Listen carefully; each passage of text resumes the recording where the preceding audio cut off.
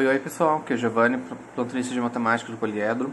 Vou resolver agora o exercício 5 do livro 3 do pré-vestibular, edição 2020, frente 3, capítulo 11, da página 157. Nesse exercício ele dá essa figura, dizendo que uma formiga ela anda por entre esse sólido, dizendo que ela inicia aqui no vértice G.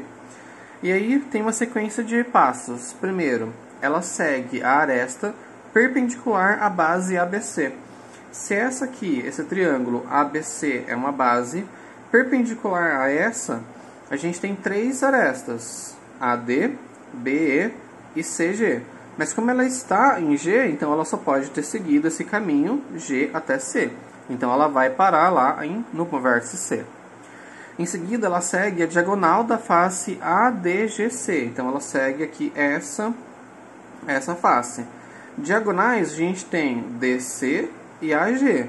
Mas como ela está agora no vértice C, então ela vai seguir essa diagonal DC, então ela vai parar no vértice D. E por último, ela segue a aresta reversa AGC. Então GC, essa aresta vertical lá atrás, reversa ela, a gente tem o DE e o AB também. Mas como ele está, a formiga está no vértice D, então ela segue essa aresta DE. Como esse é o último passo, então ela termina no vértice E. Espero que tenha ficado claro. Bons estudos!